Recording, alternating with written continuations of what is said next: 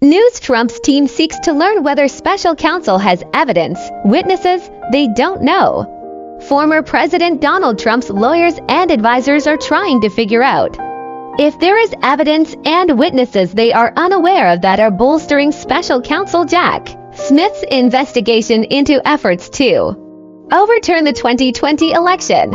According to multiple sources familiar with Trump team's legal conversation, the potential charges listed in the target letter suggest the special counsel will prosecute a bigger case against Trump than the former president's team was expecting, given the evidence they are aware of. That has led to questions if there is evidence or testimony they don't know about, the sources said. Trump's team of lawyers and advisors have tried to keep close tabs on investigation.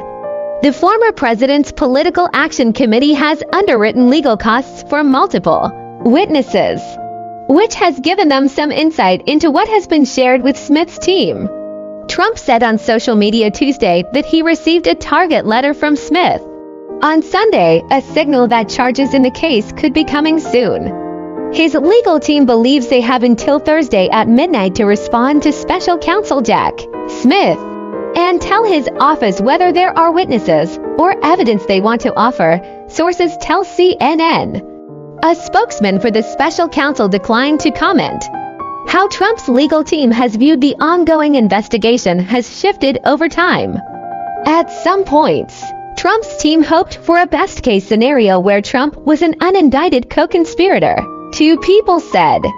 But as witnesses like Trump's son-in-law Jared Kushner and former White House aide Hope Hicks were called before the grand jury, it became much clearer to members of the legal team and Trump's inner circle that Smith was zeroing in on Trump's mindset.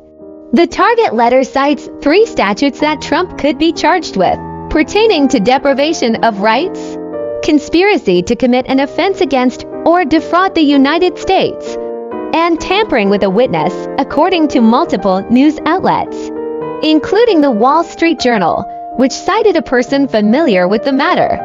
The Justice Department has been known in the investigation to be examining possible violations of the law around conspiracy and obstruction of the congressional proceeding on January 6, which is part of the witness tampering law.